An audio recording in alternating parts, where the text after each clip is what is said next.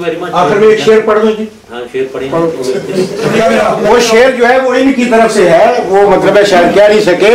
अकेला ही चला था जानबे मंजिल मगर। अकेला ही चला था जानबे मंजिल मगर। लोग मिलते गए कारवान बनता गया।